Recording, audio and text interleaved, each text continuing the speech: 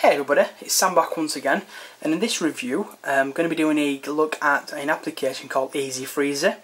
Now it does require root access so if you don't have root access unfortunately it's not going to be any use to you at the moment. Um, the reason why I like this is instead of uninstalling applications that could possibly maybe break the phone you can freeze them and they're still there but they're just not using up the memory on the phone so it basically makes it a little bit more zippier etc.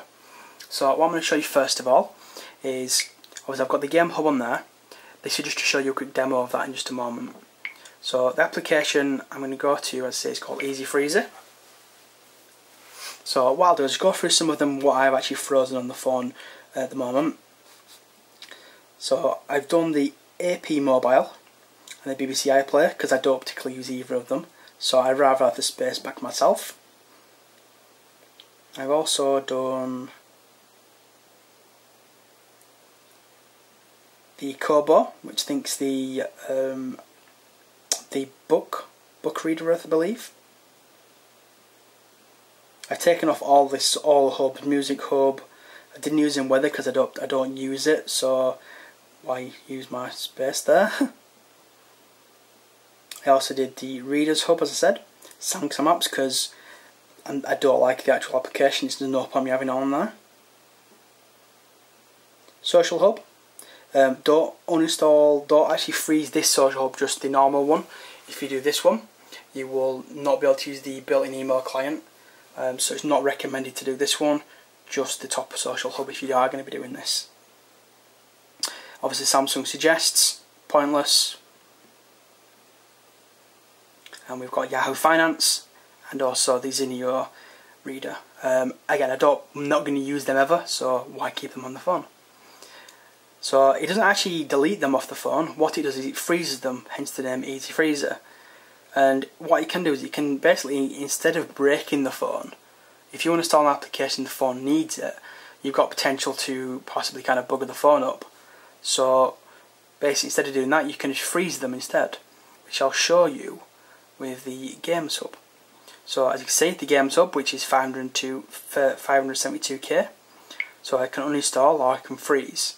Now, you can't actually uninstall this directly, so I'll freeze it instead. It's now frozen. So it has been frozen.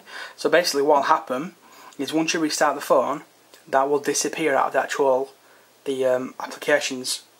So as you can see on these ones here, um, I used to have the folder there that was for the hubs.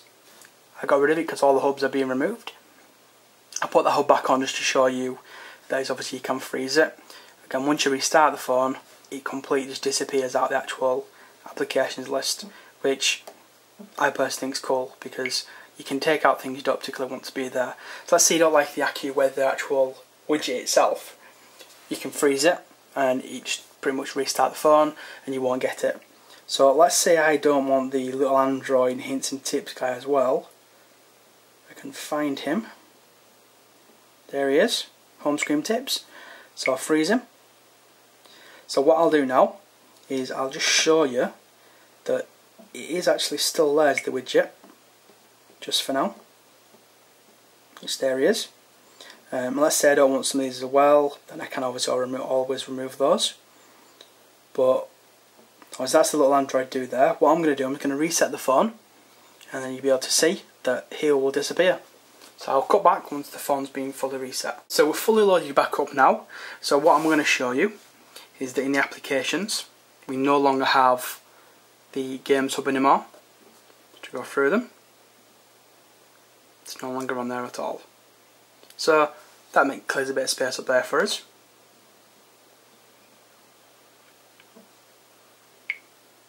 And we should also see no more little Android dude. So it's something I don't particularly ever going to use the home screen tips. So I got rid of it. Why not? Just a nice little, you know, it's a nice way to actually clean up, you know, clean up some of the phone, so you don't have to have everything, you know, on the phone like that.